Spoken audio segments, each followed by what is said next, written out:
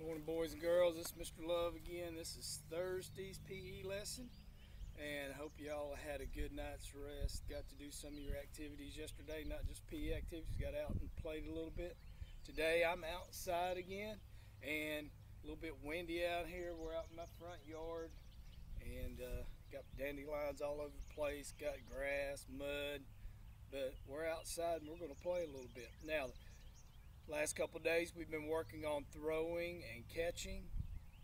And today let's go ahead and start with our exercises and then we'll start, we'll talk a little bit about throwing and catching. Again.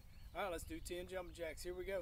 One, two, three, four, five, six, seven, eight, nine, ten.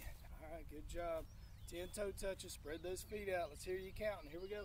One, up, opposite hand, two, up, three, up, four, up, five, up, six, up, seven, up, eight, up, nine, up, ten, up. All right, let's get those shoulders loosened up. Let's do those shoulder rolls. 10 forward and 10 backwards. Here we go.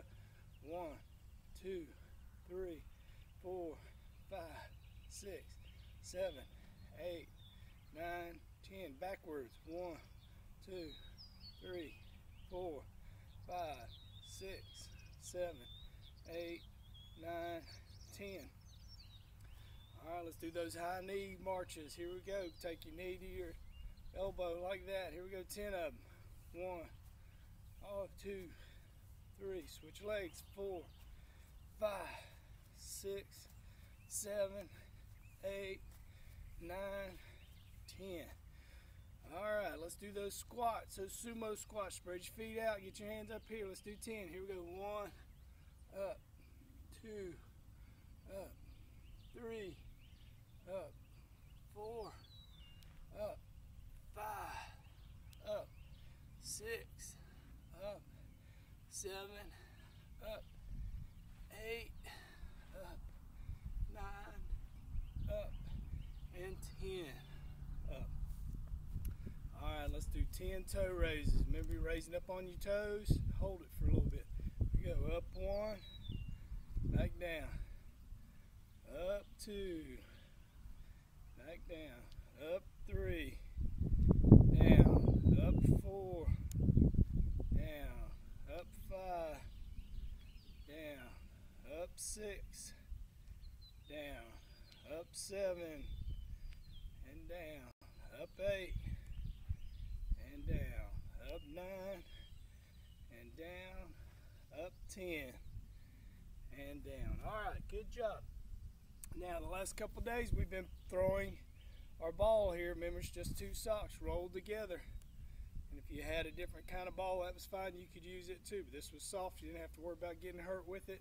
And it was easy to make. So remember when we throw, we're putting that ball up here by our ear, get that elbow up, we're stepping, and I've always told you just to step, but today I want you to step with the opposite foot. So this is my right hand. If I throw with my right hand, the opposite of right is left. So I should be stepping with my left foot towards my partner. And then I throw, and after I throw, I follow through, pointing my target. Okay? so make sure you do those four steps. Ball by your ear, elbows up. Step with your opposite foot today. Throw and follow through towards your target. Remember when we catch, give a target, eyes on the ball, catch with our hands, and bring it in. So when you're throwing today, practicing, make sure you're doing those several different things. That way it's going to make you a better thrower and it'll get you ready when you want to play on some teams. And I know some of you already play on teams. And I've got a special guest here today. This is my son. This is Austin. He's coming in, and he plays a little bit of baseball. And um, he's been. How long have you been playing? Uh, I've been playing since I was probably three or four. So you started throwing. time. Did you start throwing at three years old? I guess. You guess. Uh, he did. He's probably started throwing earlier than that. And so he's been throwing a long time. It's never too early to start, you know, throwing. But you always want to try doing it the right way, and that's why I'm trying to show you the right way to throw a ball. Now, um, what are some important things that you that it takes to be a good ball player? What's some things that these kids might want to think about when they're um, when they're becoming a good player, if they want to be a good player? Uh, definitely you need to make sure you're working hard to try and get better every day. And then you got to always make sure you're keeping your grades up because if you don't have good grades, and the coaches probably aren't going to let you play on the team.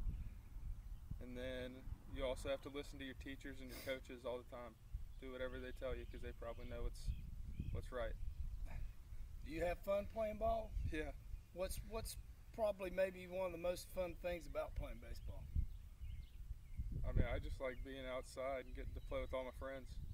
Uh, so it's good to have friends, and and that's the thing. You built good friendships all the way throughout. Do you still have friends that you played with when you were four years old? Yeah, I still have friends that I've been playing with for my whole life.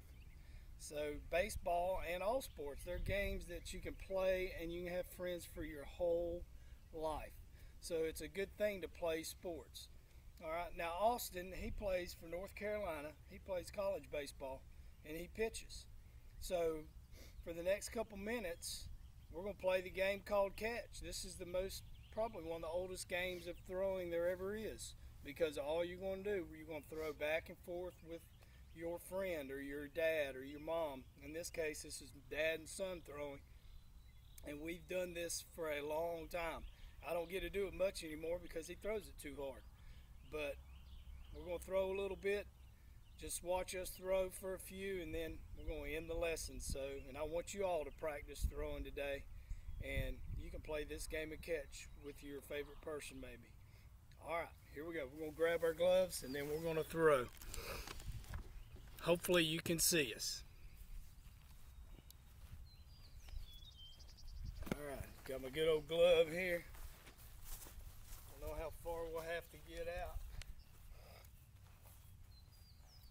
All right, here we go. Just throwing back and forth with our friends. And I'm gonna step out of the picture a little bit and we're gonna let Austin stay in the picture for a minute. Just watch how he steps and throws. Follow through.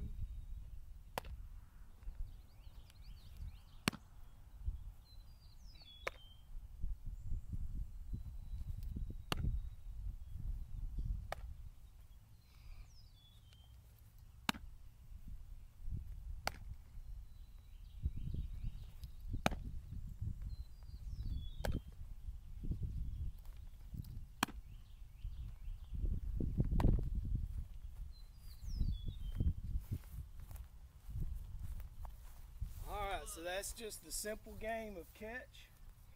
And I hope y'all enjoyed that. And I want y'all to practice that today when y'all play. And then y'all can just continue to do that. Have a great day, and we'll see you next Monday.